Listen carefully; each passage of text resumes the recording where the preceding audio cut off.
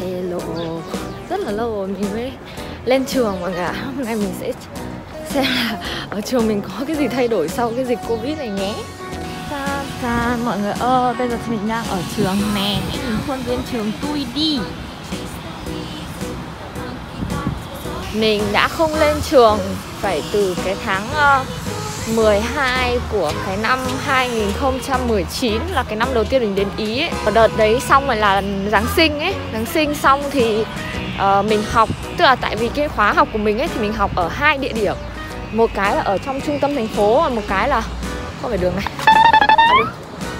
Một cái là ở ngoài Hơi ngoài ngoài một tí ấy.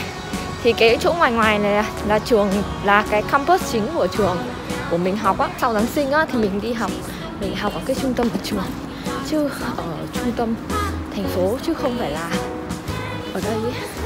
cho nên là nếu mà tính thật ra thì phải hơn một năm nay là mình không lên trường mọi người ạ. Xong rồi đợt đấy dính covid các thứ ấy nên là mình cũng không có được lên trường. Đó mà đợt đấy thì được chọn học online hoặc là học uh, đến trường á. Nhưng mà tất nhiên là mình chọn học online rồi. Rồi hôm nay thì mình sẽ có việc phải gặp giáo sư mình sẽ đi vào.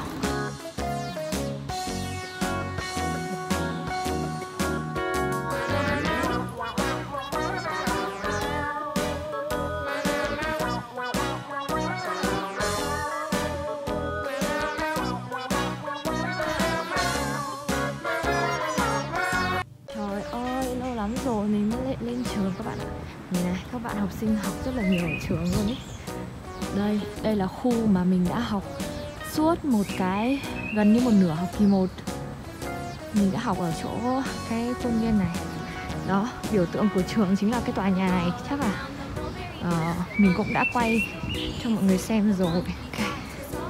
Đó. Đi qua cái khoa gọi là khoa. Mình vẫn nhớ là ngày đầu tiên mà mình đến cái văn phòng này để hỏi xem là cái phòng mình học ở đâu á. Xong rồi kiểu là người ta không nói được tiếng Anh, người ta không trả lời mình Thế là mình bị muộn học mất 15-20 phút gì đấy. Xong cuối cùng thầy giáo còn đến muộn hơn cả mình. Đó mọi người, nhìn này, đẹp chưa? Oh, Suốt một năm nhất mình đã đến cái tòa này đi học đó các bạn ạ. Đây là cái chỗ mà mình rất hay ngồi ăn. Trời ơi. Hello mọi người. Mình vừa ở nhà Hakemata về. Và bây giờ thì mình sẽ đi siêu thị mọi người ạ. Trời thật là xinh đẹp. Hôm nay trời đẹp quá. Đó. Chung là thời tiết mấy hôm nay thì đã thấy nóng nóng hơn đó. Hôm qua thì ở nhà Vi trời khá là lạnh mà về đây thì trời rất là nóng Nên là bây giờ mình sẽ um, đi bộ để kiếm chút nắng xong rồi là mình sẽ uh, oh, đi về nhà và tiếp tục công cuộc học hành Ah, no, put this one. Have you got a channel? Yeah. Wow! About Hai canale YouTube. Wow! Così dopo ripreso in video che faccio You? sta roba. Hello mọi người. Hôm nay thì mình sẽ đi xem phim ở nhà hát. Thì đó mọi lần thì ờ, sẽ xem phim ở cinema Nhưng mà lần này thì sẽ đi xem ở theater. Thế là lần đầu tiên được mình được đi xem phim ở theater xem sẽ như thế nào nhá. Lần này thì mình sẽ đi cùng với Deborah nên là hai đứa mình sẽ đi xem phim. Bây giờ thì mới có uh, rưỡi chiều thôi. Trời vẫn còn rất là đẹp.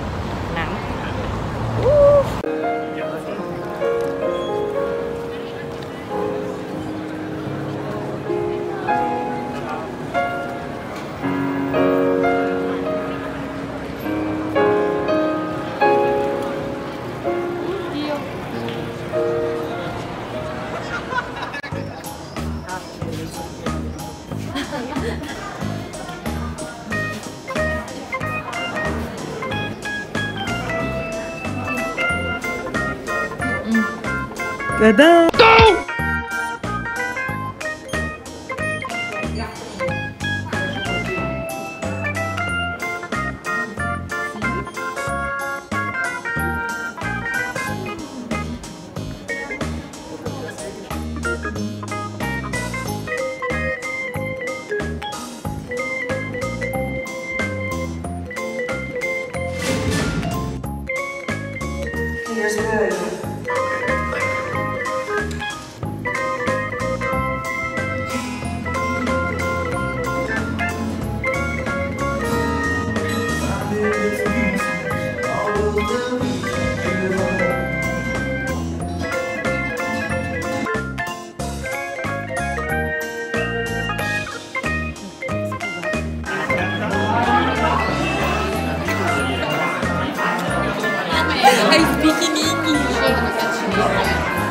So good.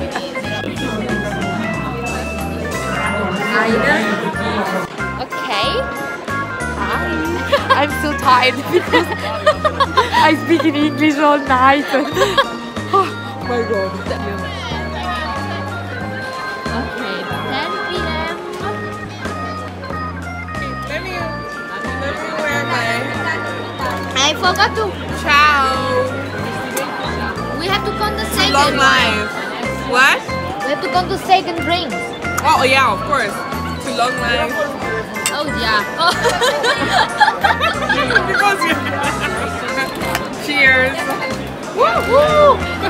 when you gonna graduate? July. Are you sure? You I do not know. I just know I want to graduate in July, but I don't know. Don't worry. If you not graduate, it's not your fault. Yeah, it's not my fault, really. Who fault? Somebody.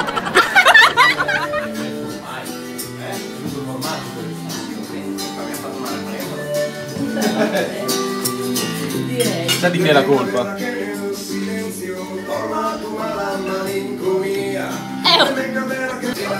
pensi Lascia partire qualche ti lascia Ma tanti folla che trova Amio. Ah, quanto ti pensavo che il numero su rimasto davvero agno. No! Senza mi sembra, guardi lontano e se vedi in faccia, in questa stanza del nostro tempo, i miei fantasmi lassano la traccia, scullarmi. Lui ha suonato in maniera ascoltata. C'è Sam Footballer al very Enzo. Eh. Erano qui sul tavolo, quindi sono vostri. Da dover lasciare conseguenze particolarmente gravi. Bravo Brian Pierce nel controllare subito per calciare con il destro, il tiro è solo centrale perché la cosa c'era. Yes, I put. Ho ho. Today is the challenge. Gina, give me the challenge. Oh wait, this one is not stick to me. I don't know. we can do it. Are we ready? No, no, you can, but me, mm, I'm ready. I dandelion on the air.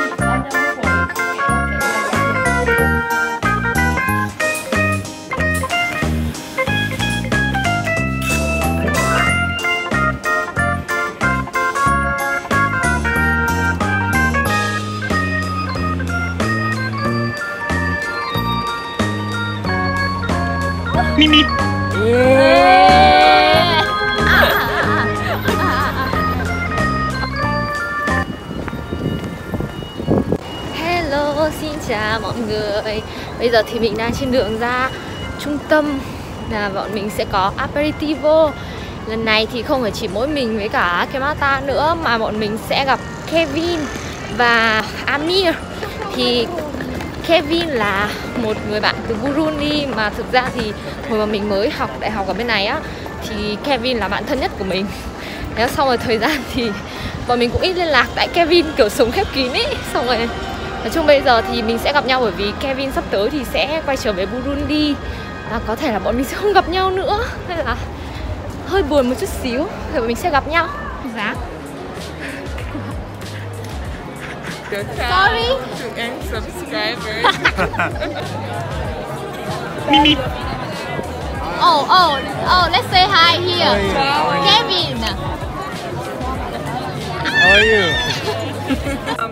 there's one. Let Yeah, me see here. my new one if he has. What? Looks like he has two, but I'm not sure. One new one. Kevin, Yes. One new one. you leave me. What? What was he talking about? Did you hear? If you're taking only A1.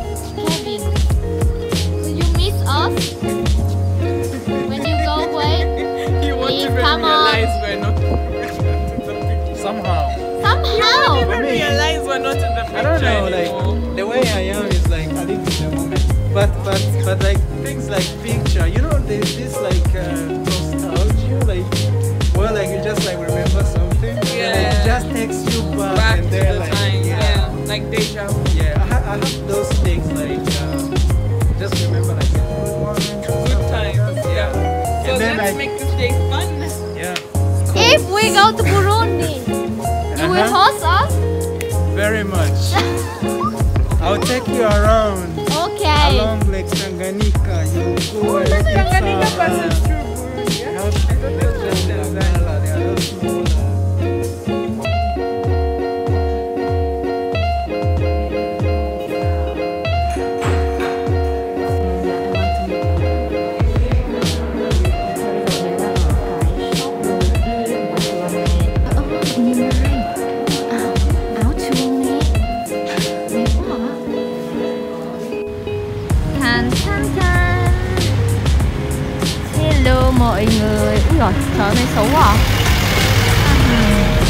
như mất giọng luôn rồi bởi vì hôm qua thì uh, sau bữa tiệc của Akemata thì mình đã trở thành nạn nhân của rượu chè bé bét bê bối.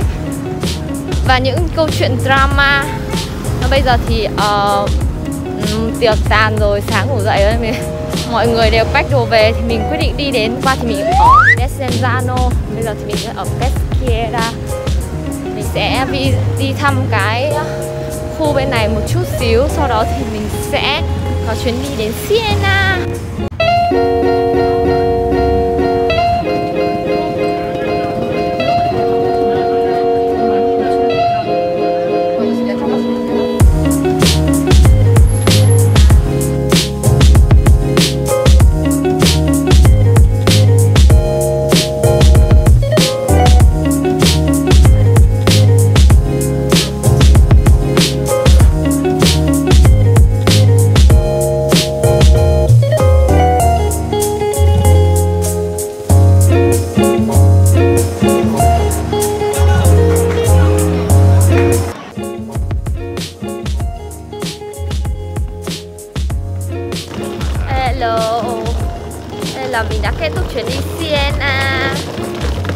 Giờ thì bọn mình sẽ đi về. Mình sẽ bắt tàu ở Florence để về nhà. Và lần này thì mình sẽ đi bằng xe buýt Đây là lần đầu tiên mà mình đi xe buýt Từ thành phố này đến thành phố khác, Nên là mình cũng muốn xem là nó khác gì với việc đi tàu.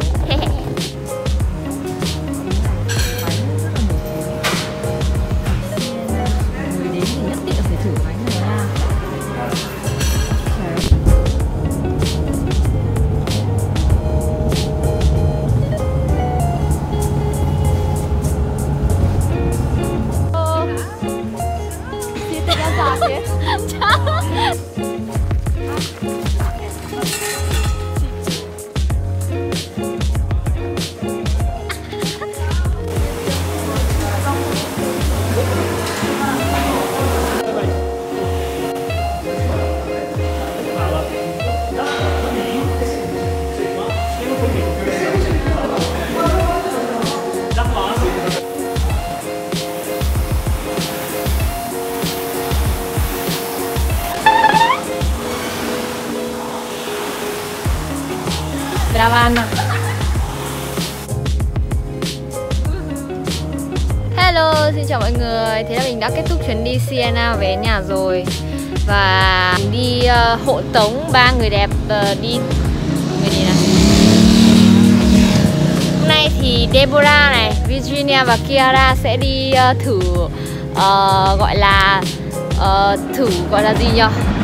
Thì ở Pavia những bạn nào mà học sinh các thứ nói chung là sống ở Pavia này hoặc là, là học sinh viên của trường đại học á thì sẽ đăng ký uh, tham gia cái câu lạc bộ thể thao gọi là CUS Pavia.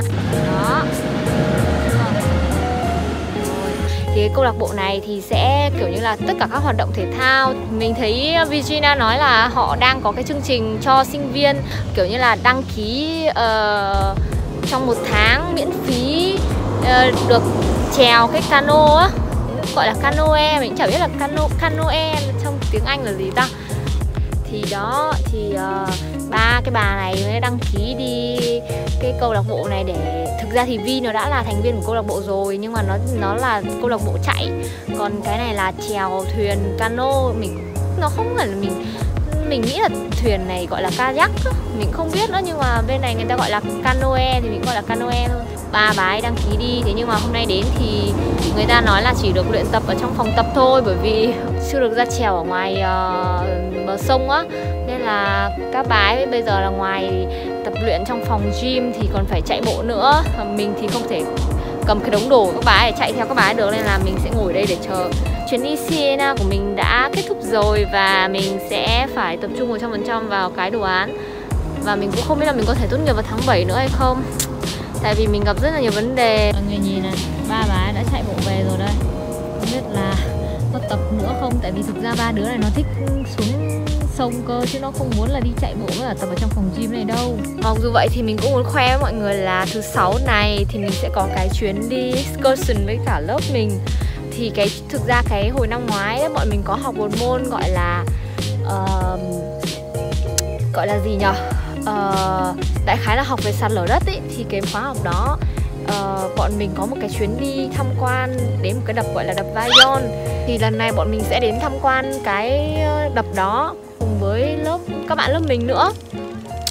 Thì nói chung là thứ sáu này thì bọn mình sẽ phải uh, dậy rất là sớm và đi uh, tham quan cái đập đó bởi vì cũng khá xa và bọn mình sẽ đi bằng xe khách cùng với nhà trường. Và mình sẽ quay lại cho mọi người xem là cái ngày hôm đấy có gì vui nhé